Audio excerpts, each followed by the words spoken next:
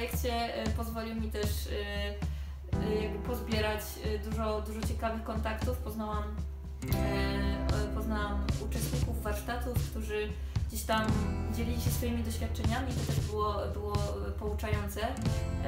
No i same warsztaty, tak? Były takie elementy na warsztatach, które bardzo mi pomogły, które niektóre ćwiczenia wykorzystałam w pracy, w pracy z dziećmi.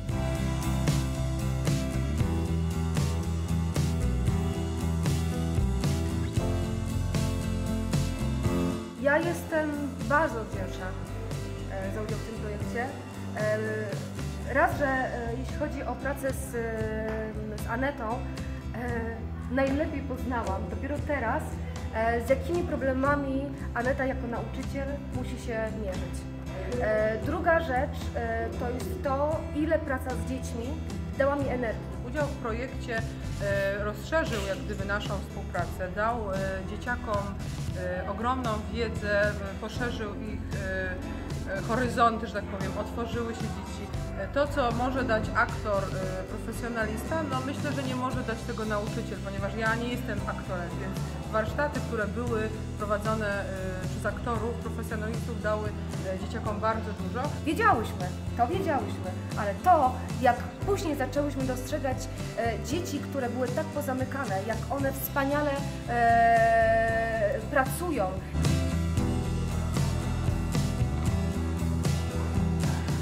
Udział w takim projekcie, e, jak w wielu innych, które dotyczą e, pracy z dzieciakami, daje przede wszystkim satysfakcję z kontaktu z dziećmi e, i taką radość z tego, że możemy im przekazać takie doświadczenia, których na co dzień nie mają, czyli właśnie obcowanie, kontakt, doświadczanie sztuki, jakby też samemu, tworzenia.